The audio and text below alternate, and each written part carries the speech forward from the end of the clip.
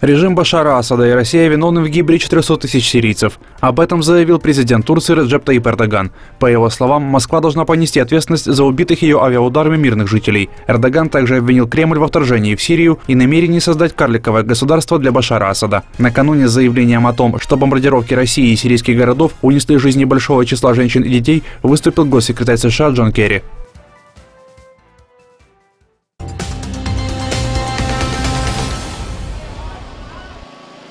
В Тайване продолжаются поисково-спасательные работы после сильного землетрясения. Подтверждена гибель семи человек. Почти 400 попали в больницы с травмами разной степени тяжести.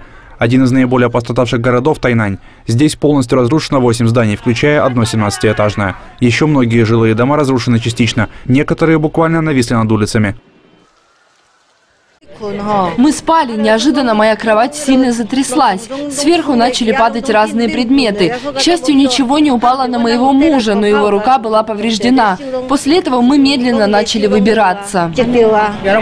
Стена обрушилась, все начало падать. Моя кровать перевернулась. К счастью, на людей обломки не упали, я только руку повредил. Мой дом теперь просто груда развален. Я не понимал, что происходит, и по-настоящему испугался. Никогда не видел такого землетрясения. Нас с женой просто качало со стороны в сторону.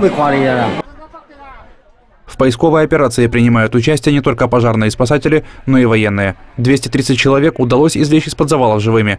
Поиски уцелевших продолжаются. В результате бедствия тысячи человек остались без электричества. Были обесточены и некоторые крупные тайваньские предприятия. Ощущались толчки и на материковой части Китая. Там они привели к задержке поездов в провинции Фудзянь. Мощное землетрясение произошло на Тайване в ночь на субботу. Сила подземных толчков составила 6,4 балла. За ними последовало несколько авторшоков. Эпицентр располагался на глубине 10 километров в южной части острова.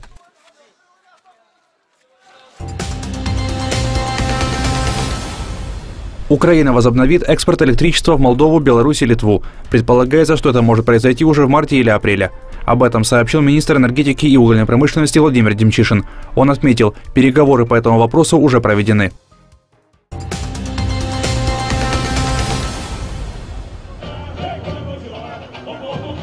В Рио-де-Жанейро стартовал ежегодный карнавал. Его открыли красочные представления школ самбо на улицах города. Самая важная часть праздника состоится на так называемом самбодроме, где участники парада должны не только продемонстрировать свои танцевальные умения, но и представить некую историю. Мероприятие ежегодно привлекает десятки тысяч туристов.